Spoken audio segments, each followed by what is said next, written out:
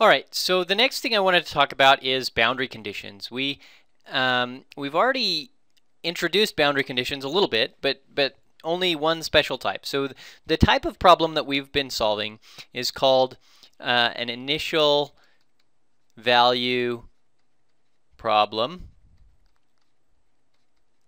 and or IVP, sometimes they abbreviate IDVP. Uh, so we've been solving an initial value problem. And what is an initial value problem? Well, just give us a little reminder.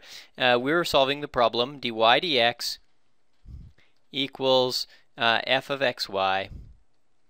And what does that mean? Well, that means, and, okay, so here's the other important thing that um, we get lost in the fact that we're solving this differential equation. When we, yes, we're solving this differential equation, but we're also given a y of 0 equals some value um, and I can call it any value. I'm going to call it alpha. So we're given y of 0. What does that mean? Well, if we look at the function that we're integrating across, what we do is we start at the lower endpoint of the, the interval that we care about. So here I'm starting at y of 0 um, is equal to 1. That was that was the problem that we had looked at previously.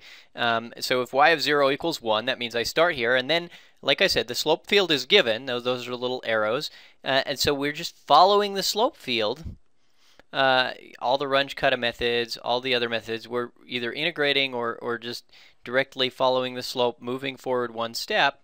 We're just following this slope field and moving forward until we find uh, the whole solution. We just move forward step by step by step, and sometimes we get off a little bit, but uh, we just step forward step by step until we get the entire solution worked out. Well, fine.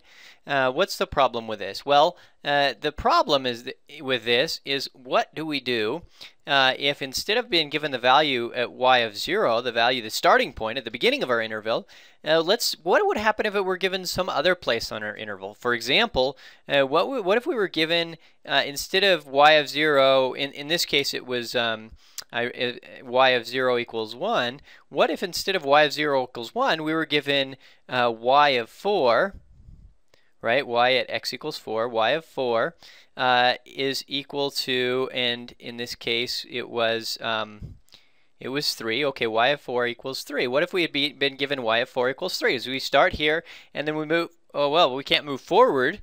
Um, uh, what do we do? Well, um, that's what we're going to talk about is what we do because we, we and we may not start at the end point. Um, we may be somewhere in the middle. We may be we may have this this value anywhere. Uh, but in general, if the value is not given at the initial point, if it's not given as initial value, at least for the purposes of this class, we're going to call that a boundary value problem. And uh, for a boundary value problem, we may be given different boundary conditions. Um, and, and, the name, by the way, the name boundary conditions actually comes, I, I, believe, from the heat equation problem where you, you have a second order differential equation, which means that you have to have two boundary conditions uh, where you have to have two two conditions at least, whether they're boundary con whether they're um, initial conditions or other conditions. And you very seldom have initial conditions. It comes from the fact that you usually have boundary conditions, and they're usually like, for example, the start the starting temperature of the bar.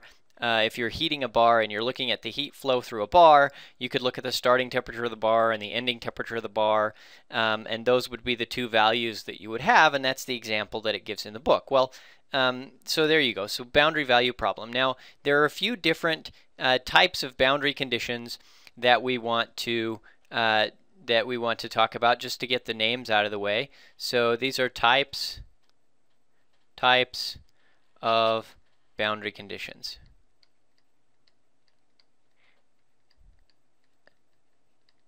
And boundary conditions is often abbreviated uh, BCs. So just something to be aware of. So we have Dirichlet boundary conditions. Dirichlet boundary conditions. And those are conditions where the value of the function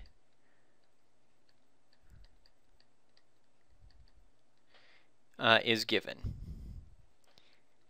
Well, so what other boundary conditions we could could we have? We could have the value of the function given, or we could have Neumann